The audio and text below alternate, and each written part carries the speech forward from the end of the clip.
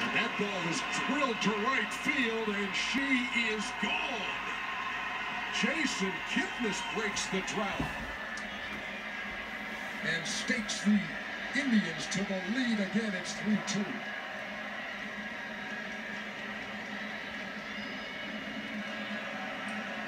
Winning today's game, the third time through the order for starting pitchers. Death. Perspective, you got a really good idea what he has that particular night. This was a 2-2 fastball. Tried to get it on the outside corner. Probably out or half. He smokes it.